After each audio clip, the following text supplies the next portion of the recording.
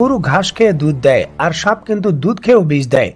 পার্থক্যটা খাবারে নয়, পার্থক্যটা জাত, স্বভাব এবং আচরণের। আর এই জন্যই সাপের স্বভাব যাদের মধ্যে আছে, তাদের কিন্তু কখনোই বিশ্বাস করা উচিত নয়। যেমনটা বাংলাদেশের কখনোই উচিত হবে না, মায়ানমারকে বিশ্বাস করা। বর্তমানে মায়ানমার কোণঠাসা, আর এই জন্যই কিন্তু বাংলাদেশের সঙ্গে ভাব করতে আসছে।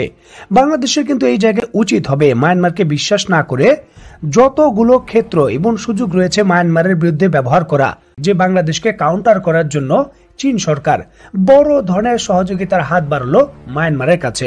সুদানের মতো দেশের কাছে এই এফটিসি টু থাউজেন্ড জি বিমানগুলো, যেখানে চীন সরকার বিক্রি করেছে পনেরো মিলিয়ন ডলার পার ইউনিট করে, সেই জায়গায় মায়ানমারকে ঠিক একই ধরনের বিমান দিয়েছে, মাত্র তারা আট দশমিক পঞ্চাশ মিলিয়ন ডলার করে।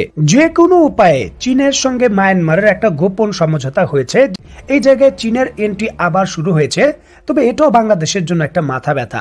বাংলাদেশ সীমান্ত থেকে মাত্র তিনশো কিলোমিটারের মধ্যে মায়ানমারের সামরিক ঘাঁটিতে এই বিমানগুলো মোতায়েন করা হয়েছে। যার পাল্টা পদক্ষেপ হিসেবে সীমান্ত এলাকায় এখন আপাতত আমরা মজুদ করেছি কিছু ড্রোন। চীনের পক্ষ থেকে ঘোষণা দেওয়া হয়, তাদের নিজস্ব অস্ত্র নির্মাতা প্রতিষ্ঠান গোয়াংহু। এমন এক ধরনের শক্তিশালী ম্যান পোর্টেবল আকাশ প্রতিরক্ষা ব্যবস্থা তৈরি করেছে, যা পৃথিবীর অন্য কোনো দেশ এখনও তৈরি করতে পারেনি। কিউ ডাব্লিউ এইটিন নামক নতুন এই ম্যান পোর্টেবল আকাশ প্রতিরক্ষা ব্যবস্থার যে মিসাইল, সেটা এমন ভাবেই চীন তৈরি করেছে, যেটা নিজের বুদ্ধিমত্তাকে কাজে লাগিয়ে টার্গেটকে কিন্তু অটোমেটিকলি শনাক্ত করতে পারে। পাকিস্তানের পর দ্বিতীয় কোনো দেশ হিসাবে চীনের এই মিসাইল কিন্তু ডেলিভারি পেয়েছে বাংলাদেশ।